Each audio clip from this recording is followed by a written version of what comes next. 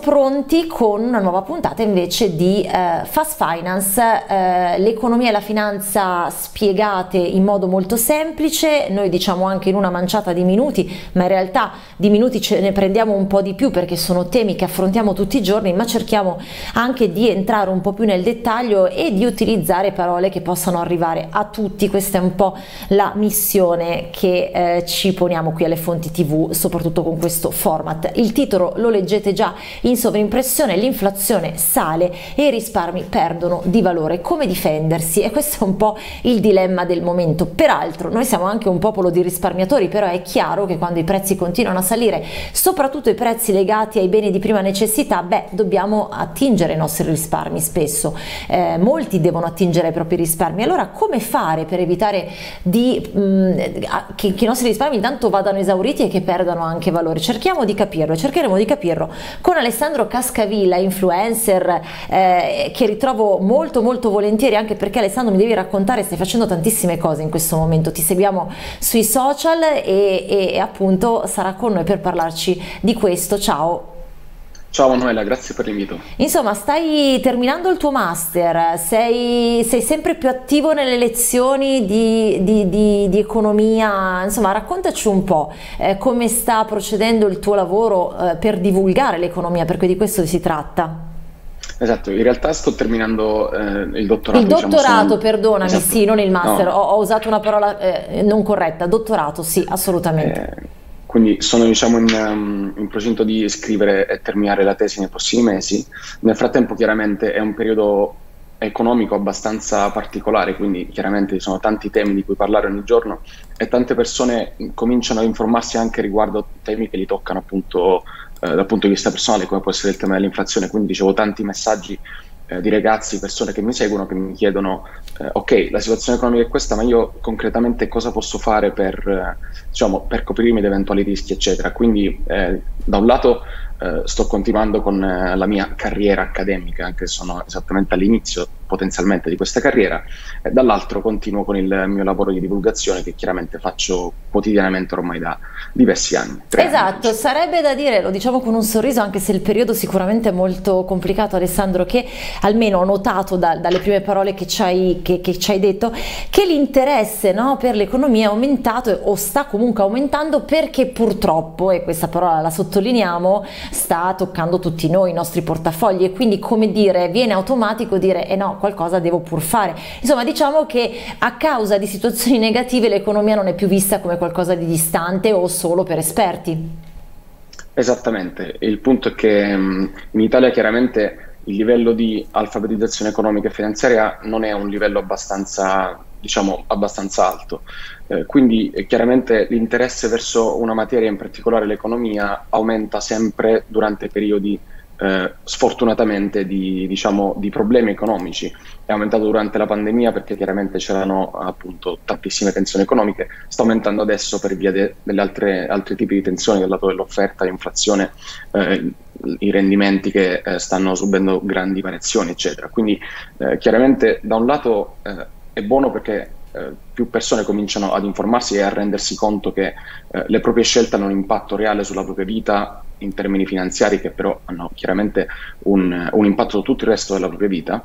Ehm, e quindi è, è un'occasione insomma da non perdere, quindi a parità di lati negativi cerchiamo di non perdere la possibilità di avvicinarci davvero all'economia, quindi cercando di capire eh, come scegliere al meglio per il nostro, diciamo, il nostro, futuro finanziario, quindi come cominciare a pianificare una propria strategia di investimento, di risparmio, eccetera, che è una cosa che eh, a quanto pare anche i giovani, molto giovani, stanno cominciando a fare. Quindi di questo in realtà sono abbastanza, sono abbastanza, contento. Allora Alessandro, sicuramente a proposito di lessico finanziario, una delle parole che ormai sono chiare a tutti è quella di inflazione. Allora partiamo eh, da qui eh, perché in realtà l'aumento dell'inflazione e di conseguenza anche la prospettiva di una serie di aumenti di, dei tassi di interesse da parte delle banche centrali eh, hanno turbato un po' gli investitori, no? stanno turbando un po' eh, tutti, ecco, anche se poi il mercato continua ad andare un po' per la sua strada, però chiaramente le preoccupazioni si vedono più più nell'economia di tutti i giorni, nella street economy, quella che riguarda, come dicevamo in apertura, eh, tutti noi.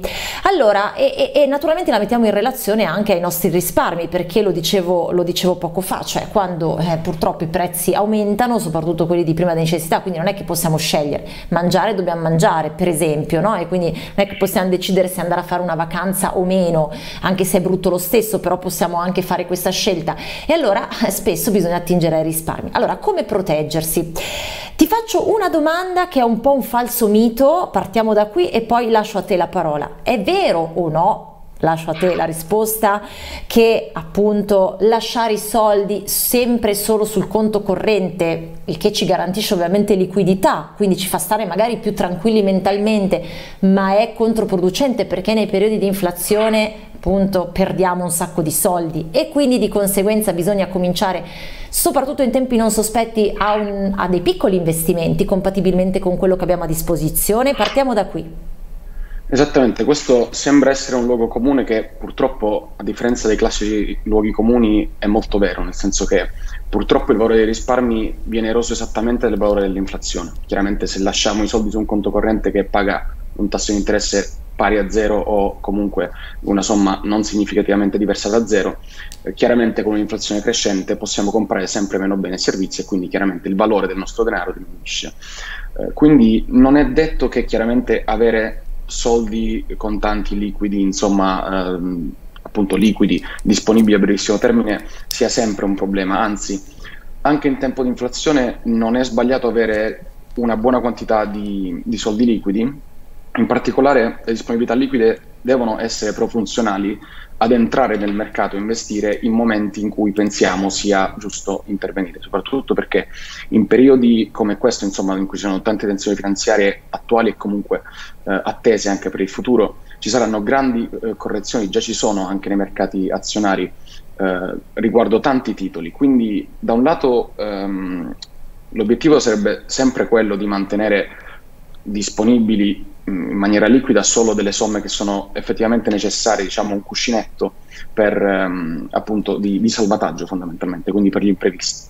Il resto, ciò che possiamo permetterci di investire, soprattutto in tempi di inflazione, conviene eh, risparmiarlo e depositarlo in, eh, insomma, investirlo in qualche tipo di asset che possa essere mercato azionario, obbligazionario, ci sono tantissimi tipi di, appunto, di asset in cui si può investire anche per coprirsi l'inflazione, quindi che sono fatti apposta per coprire il rischio di inflazione. Certo. Eh, però appunto, ripeto, non è sempre detto che mantenere i soldi liquidi sia, sia, sbagliato, mantenerli tutti liquidi è sicuramente sbagliato, soprattutto in periodo di inflazione, mantenerne un po' liquidi è un'altra parte eh, disponibile ad essere investita nel momento in cui pensiamo sia il momento giusto di entrare nel mercato, può essere comunque un'ottima strategia in periodi come questo, dove appunto, ripeto, ci possono essere grandi correzioni nel mercato, quindi grandi storni del valore, anche perché c'è grande incertezza dal punto di vista dei tassi di interesse, quindi eh, tutti più o meno si aspettano un aumento dei tassi di interesse e questo comporterà quasi necessariamente una correzione del, diciamo, della capitalizzazione di tante imprese nel mercato azionario. E eh, certo, perché poi altra domanda barra riflessione Alessandro, c'è proprio un po' sempre il timore che, allora, a parte che si pensa che appunto l'investimento sia legato a delle somme di denaro importanti, invece no, cioè è ovvio che bisogna valutare prima quanto possiamo permetterci di investire, perché è chiaro che la liquidità serve per le emergenze, non è che possiamo investire tutto quanto per poi trovarci bloccati e non avere appunto liquidità, però comunque possiamo valutare quanto possiamo investire.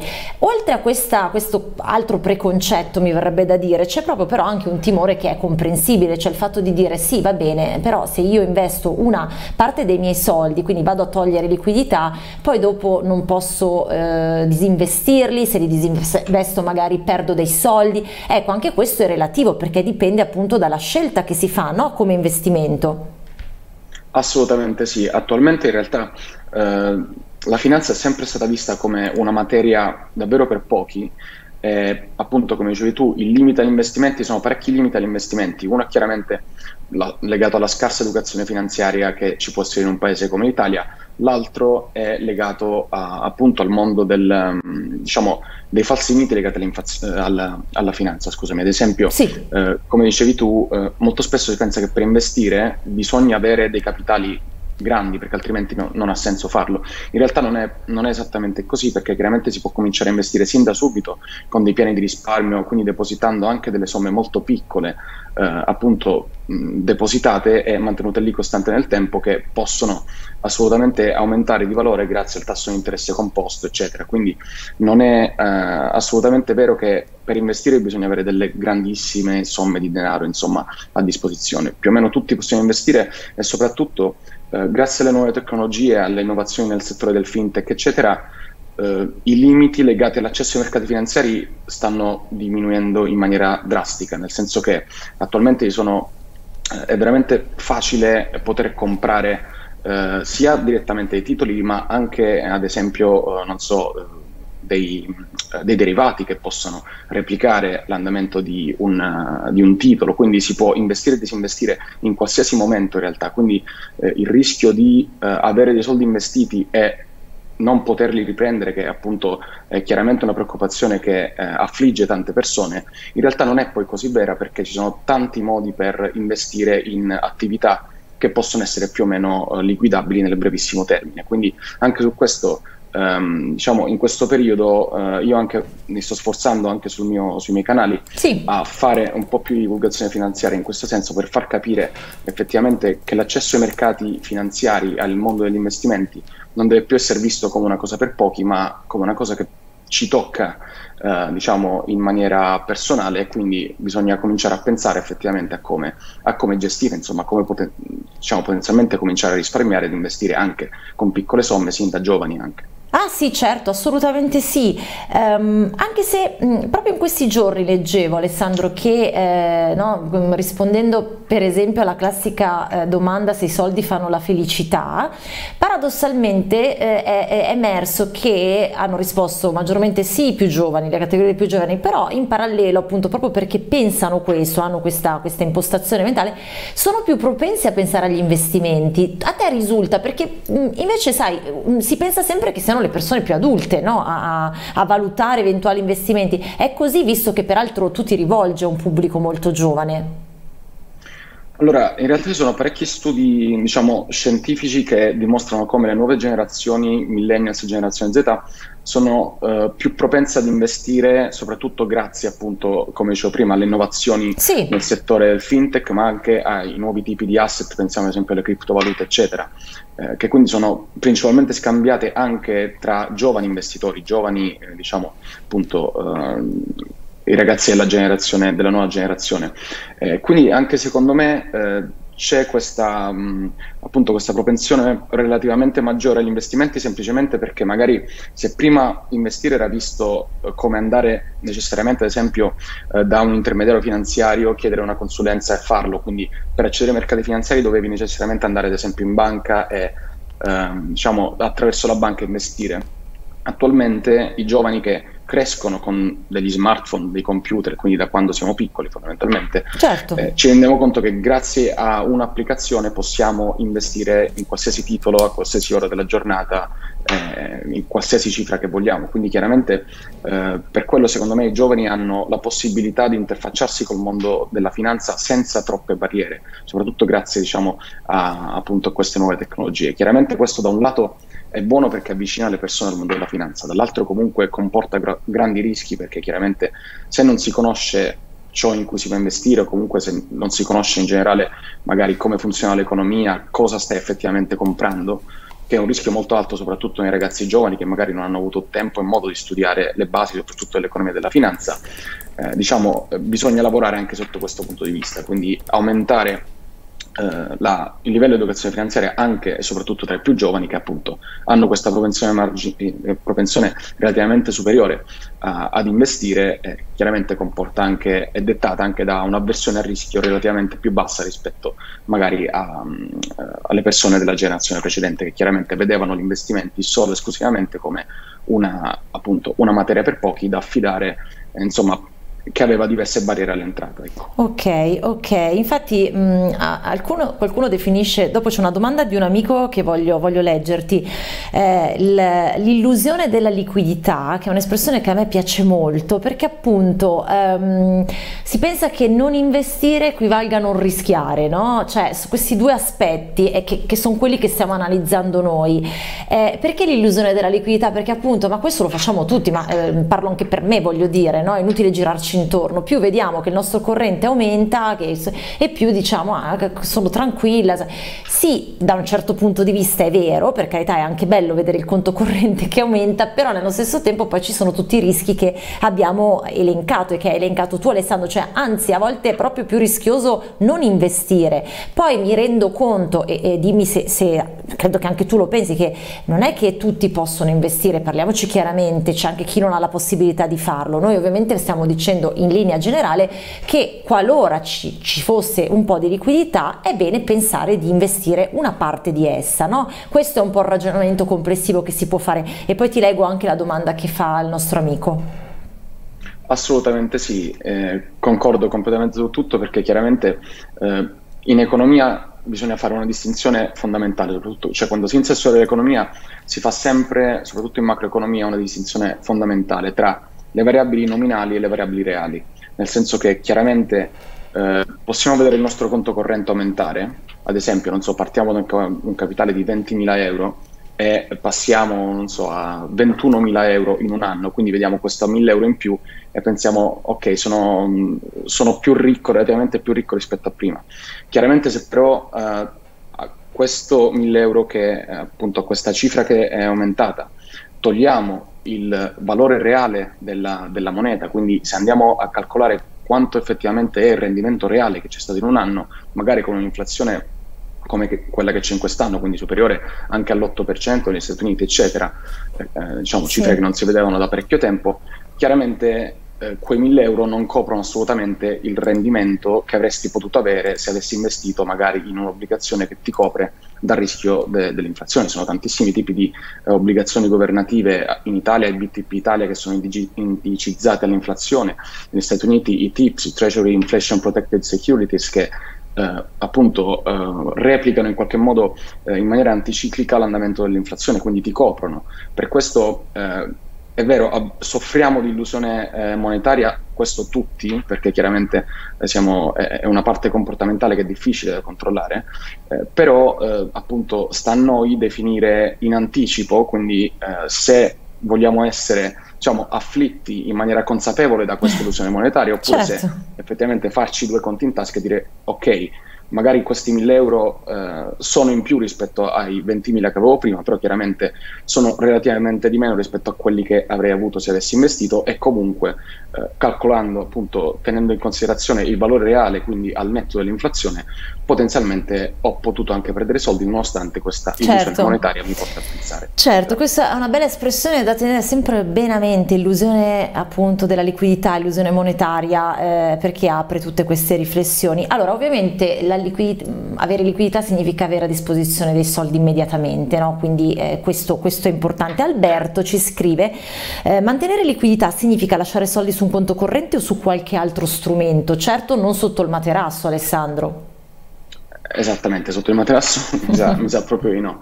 Eh, liquidità in realtà, eh, anche qui ci sono parecchie definizioni in economia, però eh, tendenzialmente il, quello che viene visto come liquidità è mantenere i soldi depositati su un conto corrente. Esatto. Quindi se già abbiamo la possibilità di depositarli in, eh, diciamo, in altri tipi di, di, asset, qualsiasi siano, chiaramente in base al, al, rischio che ogni persona ha, chiaramente ognuno ha una versione a rischio differente, una strategia di investimento differente e dei tempi soprattutto, un orizzonte temporale differente, uh, chiaramente si può avere liquidità anche eh, investendo ad esempio in un'obbligazione e rivendendola nel momento in cui hai bisogno di, di liquidità. Come dicevo prima, eh, soprattutto nell'ultimo periodo abbiamo la possibilità di accedere ai mercati quasi dappertutto, grazie magari anche a dei servizi offerti da broker che danno la possibilità appunto di disinvestire in qualsiasi momento.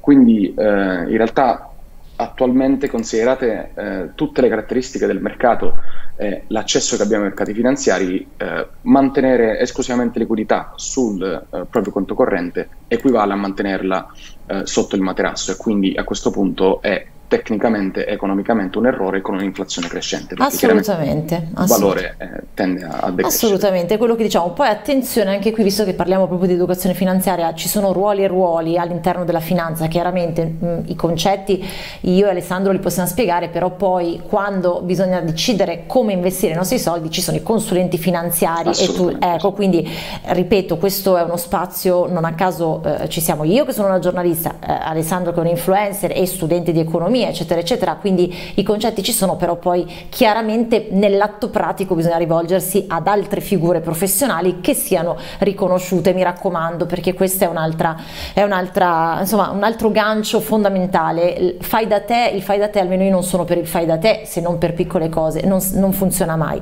Allora, l'altro argomento eh, che vorrei trattare con te, insomma, poi magari ci torneremo perché questo è relativamente, insomma, è relativo al rialzo dei tassi di cui abbiamo parlato, insomma adesso si sta guardando molto a quello che stanno facendo le banche centrali, no? la curva dei rendimenti, inflazione e curva dei rendimenti. Intanto poi arriviamo alla domanda, cioè se, se, è, se quello che sta succedendo sta anticipando dei segnali di recessione. Prima partiamo col dire Alessandro perché è importante la curva dei rendimenti, no? perché ovviamente ci dice molto basicamente se i tassi di interesse saliranno o scenderanno, perché è molto importante monitorarla. È molto importante monitorarla perché la curva dei rendimenti riflette in qualche modo le aspettative degli investitori nel medio e soprattutto nel lungo periodo.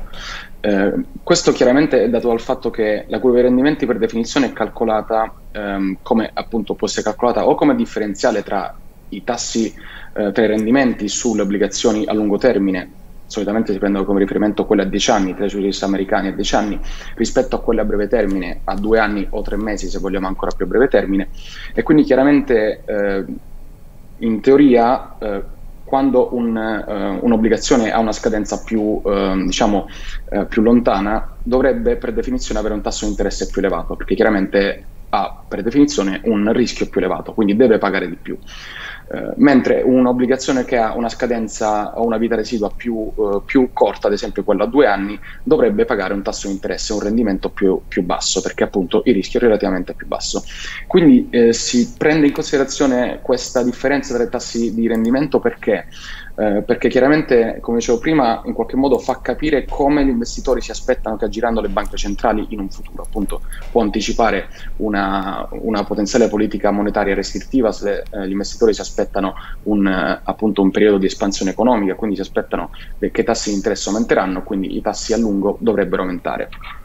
La cosa importante è che questa eh, curva eh, nella storia economica ci ha insegnato che quando eh, succede qualcosa di strano, ovvero quando questa curva si inverte, ovvero quando la differenza tra i tassi di interesse a lungo termine rispetto a quelli a, te- a, a, a più a breve termine è negativa, sì. una cosa che non dovrebbe succedere, eh, questo eh, storicamente ha sempre eh, anticipato una fase recessiva nell'economia, più o meno di circa 12 mesi, ovvero quando c'è una inversione di questa curva, quindi la differenza tra questi tassi di rendimento a lungo e a breve termine è negativa, tendenzialmente si può vedere una, uh, diciamo, una recessione nei 12 mesi successivi, ecco, a partire dai 12 mesi ecco, successivi. appunto, volevo proprio arrivare lì, no? Prego, prego, questo è esatto. importante. Mm.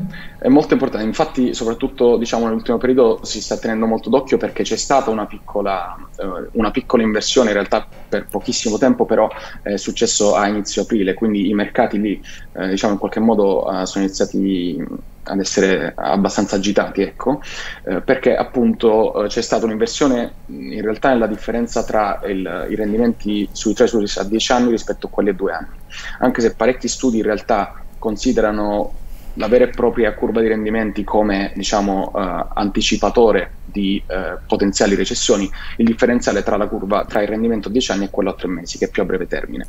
Però chiaramente questo riflette eh, ci potrebbe essere una recessione? Dipende, dipende da tanti altri fattori. Chiaramente questo però è sinonimo di una forte tensione finanziaria che stiamo vivendo adesso, che pro- probabilmente vivremo soprattutto nei prossimi anni. Quindi bisogna stare molto attenti e sperare soprattutto che la storia non si ripeta, anche se si è ripetuta diciamo, finora. Quindi. Ecco, diciamo che poi il timore è legato proprio alle mosse e poi chiudiamo, però anche questo per, mettere un po' tutti i vari attori e i vari elementi insieme no? nel, nel pacchetto eh, del periodo dello scenario che stiamo vivendo, cioè il timore legato proprio alla mossa, alle mosse della, delle banche centrali, in questo caso della Fed, perché abbiamo il combinato tra la curva dei, dei rendimenti e le aspettative ehm, di inflazione in America ci segnalerebbe che appunto, che peraltro c'è stato anche comunicato, che la Fed eh, andrebbe più veloce rispetto agli aggiustamenti di politica monetaria, cioè allenterebbe sostanzialmente gli aiuti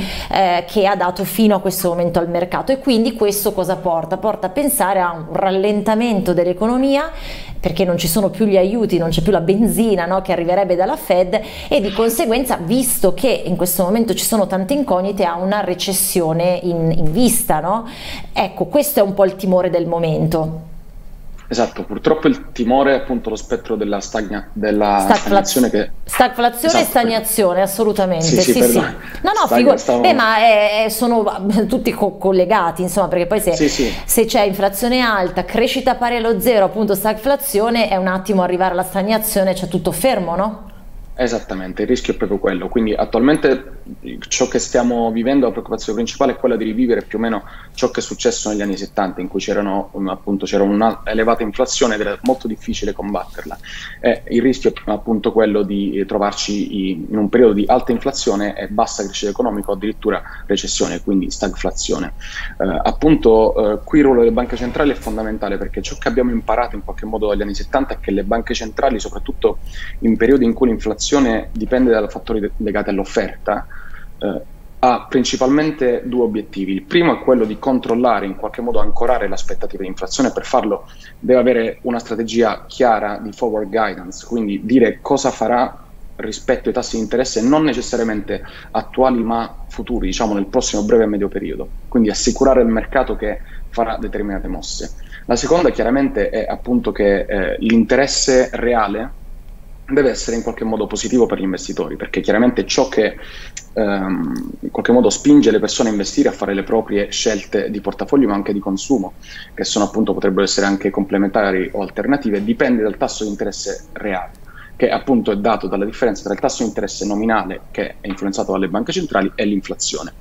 Quindi chiaramente se le banche centrali non fanno un buon lavoro in termini di forward guidance, quindi se non riescono a eh, in qualche modo ancorare le aspettative di inflazione che sono il motore principale, ricordiamo, dell'inflazione soprattutto nel medio, nel medio periodo. Sì. Eh, il problema è che eh, in futuro dovranno aumentare i tassi di interesse a un ritmo sempre più elevato rispetto a quello dell'inflazione. Chiaramente questo potrebbe comportare quasi necessariamente un rallentamento significativo dell'economia, quindi una potenziale recessione. E questo è un mondo che speriamo di, eh, appunto, di non incontrare, però chiaramente eh, la probabilità di incontrare appunto un, eh, questo scenario nel prossimo futuro non è assolutamente bassa, anche perché, ripeto, eh, le banche centrali, soprattutto ad esempio la BCE, non è assolutamente chiara su cosa farà nei prossimi mesi o anni. Esattamente. Quindi, non è molto facile, anche chiaramente essendo nei, nei, panni della banca centrale, non è facilissimo scegliere cosa fare e dichiararlo uh, in un momento del genere in cui c'è una tensione sotto tantissimi punti di vista, quindi